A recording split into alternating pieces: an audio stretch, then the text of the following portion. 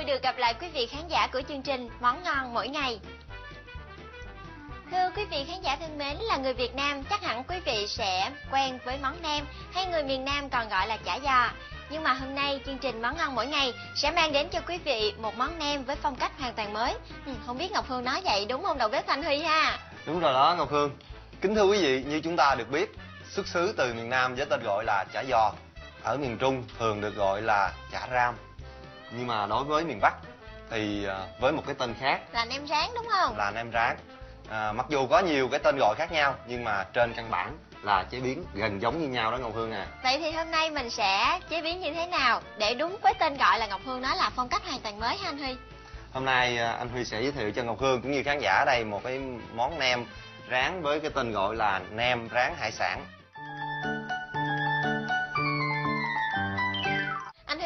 Để thực hiện món nem hải sản thì mình phải cần chuẩn bị bao nhiêu tôm cua cá mực hả anh? Trước hết là em phải chuẩn bị cho anh khoảng 150 g tôm. Dạ. em luộc sẵn bóc vỏ. Cua thì khoảng một con cua được rồi. Sau khi luộc bóc vỏ hết cho anh. Mực anh cũng đã luộc sẵn rồi. Khoảng nửa con là được. Hành tây nè hành lá cà rốt vỏ bánh bía nè sốt tương ớt bột năng trứng gà. Khoảng 3 trứng là được rồi ngọc hương. Dạ. bột xù em mua một bịch. Ngoài ra còn có dầu ăn nè tiêu hạt nêm aji ngon và mayonnaise lisa nữa đó. Em thấy nguyên liệu với gia vị cũng đơn giản thiệt Mà đặc biệt á là anh Huy biết không? Em thấy là thường là chả giò hay là nem hải sản giống như cái tên của món ăn mình á Ừ. Là phải gói bằng bánh tráng chứ. Sao anh sử dụng là vỏ bánh bía? Vỏ bánh bía được làm từ bột mì do đó có cái độ giòn xốp của bột mì rất là ngon. Vậy thì bây giờ còn chờ gì nữa Chúng ta sẽ cùng thực hiện món ăn này thôi. Bắt tay vô việc nha. Dạ Hương ơi bây giờ à, sau khi luộc tôm mực hết rồi chúng ta sẽ cắt ra hạt lựu. Dạ. Trong lúc anh cắt này thì em pha sốt cho anh nha. Dạ ừ, pha anh sốt nói hả? sơ để ngọc hương à, biết cách pha sốt ha. Dạ. Em sẽ sử dụng khoảng 2 muỗng sốt mayonnaise lisa nè Dạ. với một muỗng tương ớt. Nếu em ăn cay hơn em có thể thêm sốt tương ớt một chút xíu. Hai muỗng mayonnaise. Lisa Tôm thì cũng cắt hạt lựu giống như mực luôn đúng không? đúng rồi ngọc hương à. Lại một muỗng tương ớt hoặc là nhiều hơn đúng không anh? đúng rồi củ hành anh cũng sắc hạt lựu.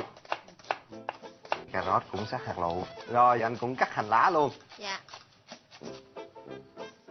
Khi mà dầu nóng chúng ta sẽ lần lượt xào thơm hành tây nè. Dạ. Tiếp theo là cho cà rốt vô Đây trước hết anh rốt. cho hành tây vô. Dạ.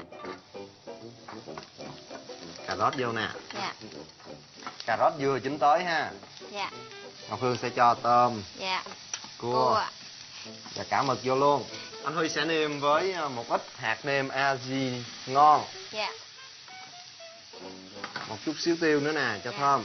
Tiêu cho thơm. Cuối cùng là anh cho toàn bộ hành lá vô. Dạ. Rồi cảm ơn em. Chúng ta sẽ cho ra tô. Thơm ơi là thơm luôn. Đây để em phụ cho. Rồi cho ra tô. Chúng ta sẽ dùng bột năng này. Dạ. Pha với một ít nước khuấy lên làm hồ chút. Chúng ta dán vô. Trong Dạ. khi mà chúng ta cuốn cái món này. Dạ bây giờ nhân đã nguội rồi chúng ta sẽ trộn nhân với sốt mayonnaise. Lisa Dạ. Thích quá món này Mình sử dụng mayonnaise Lisa trong món à, sốt để chấm nè Mà có trộn vô nhân nữa. Đúng rồi. Đây chúng ta sẽ trộn đều lên. Dạ. Dạ. Em một miếng anh huy một miếng. Rồi anh cho em một miếng nhân nè một miếng nhân qua bên anh. Khi cuốn ngọc hương à, lưu ý là không cần cuốn chặt quá. Không cuốn Ừ, chặt để ha. chúng ta sẽ giữ độ giòn. Khi Dạ. mà chiên lên nó sẽ có cái độ xốp độ giòn rất là ngon. Rồi bây giờ à, anh à, đập trứng để chúng ta chiên. Dạ. Nhưng mà anh sẽ hướng dẫn hương cái cách đập trứng mới của anh nè. Ủa cái đập trứng mới là Ừ, sao anh cái này ơi? lạ lắm á. Dạ. nè hương coi nè. Trước khi đập trứng chúng ta thải lên giày. Dạ. đó đó để chúng ta sẽ cho trứng ra. Bây giờ còn hai cái trứng còn lại thì sao? Đập nữa. Thì một cái cách nữa. Đây nè. Đó để ra một trứng trứng cuối thì đành phải đập ra đây rồi. Rồi em đánh trứng cho anh nha. Dạ.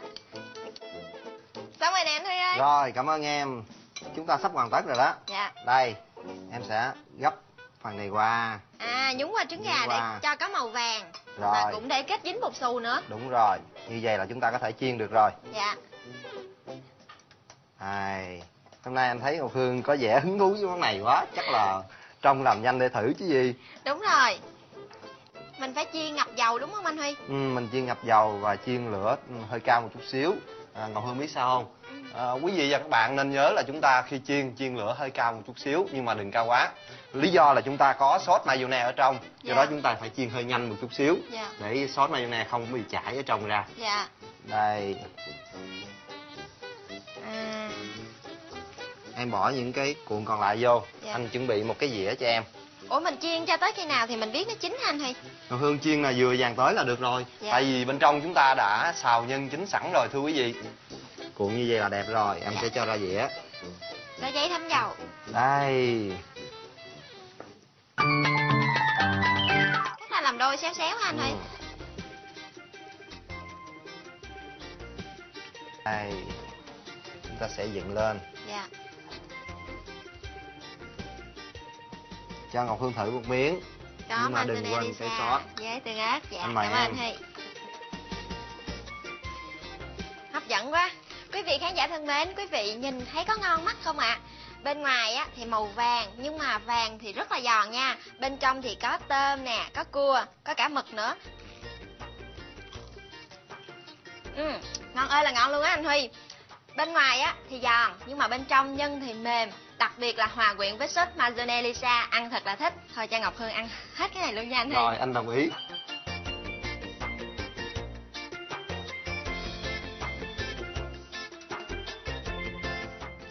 Làm xong món nem hải sản, quý vị hãy đừng quên chia sẻ những cảm nhận với chương trình Món ngon mỗi ngày qua hộp thư số 1 bưu điện Long Bình Tân Biên Hòa Đồng Nai hoặc gọi điện thoại đến trung tâm tư vấn khách hàng của công ty Ajinomoto 061 882 6188. Còn bây giờ Ngọc Hương và anh Thanh Huy xin được chào tạm biệt quý vị và hẹn gặp lại.